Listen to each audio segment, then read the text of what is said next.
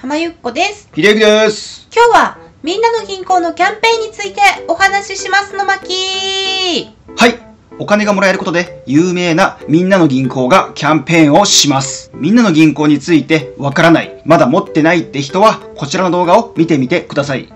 招待されて口座を開設すると1500円がもらえます。話を戻しまして、キャンペーンがこちら。ボックス預金でダブルチャンスキャンペーンです。こちら、抽選でお金が当たるキャンペーンとなっています。こちらのキャンペーン、当選人数は少ないんですけど、ただ、参加する人が少なそうなのと、お金の移動だけで簡単に参加できてしまうので、今回紹介したいと思います。キャンペーンは2つあります。1つ目のキャンペーンを説明します。参加条件は2021年12月1日から2022年1月7日の間に新たに合計10万円以上をみんなの銀行に入金することです。そして1月7日時点の貯蓄預金残高に応じて抽選で現金が当たります。気をつけたいのが、貯蓄預金残高というところに気をつけてください。普通にお金を移すと、普通預金にお金が入ります。普通預金に入ったお金を貯蓄預金に移動させてやる必要があります。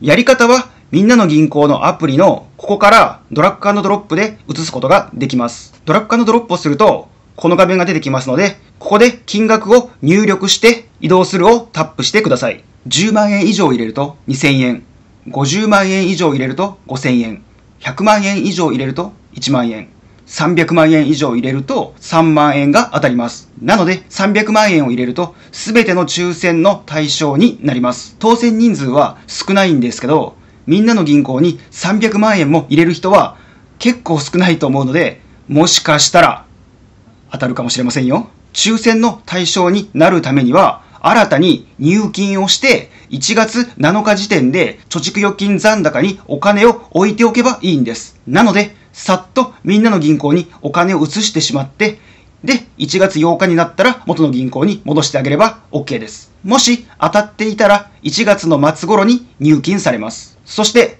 2つ目のキャンペーンが1月31日時点で貯蓄預金残高が100万円あれば抽選で50名に5万円が当たります。対象者は1つ目のキャンペーンの抽選対象者となっています。なので12月1日から1月7日の間に新たに10万円以上を入金した人が対象になります。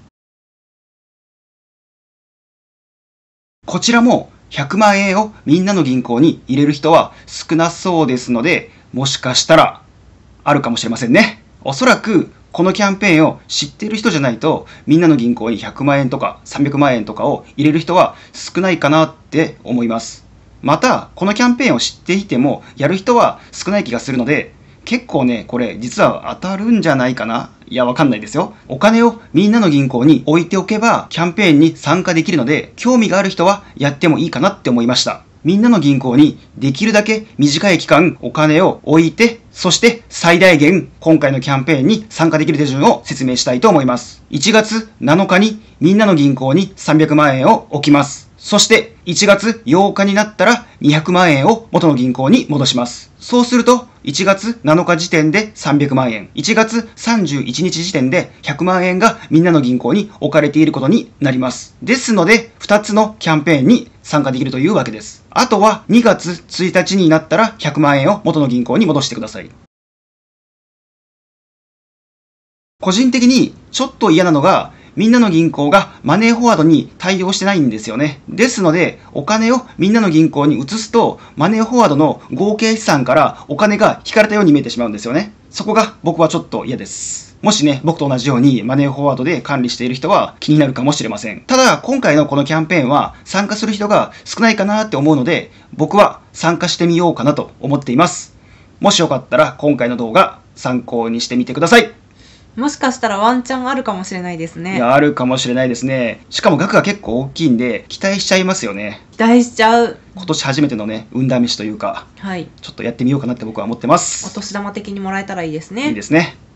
はい。というわけで今回はみんなの銀行についてお話ししました。浜ゆこと秀幸。がお送りしました。ためになった、楽しかったという人は高評価とチャンネル登録お願いします。チャンネル登録するとお得情報をいち早く知ることができますよ。またねバイバーイ。バイバーイ。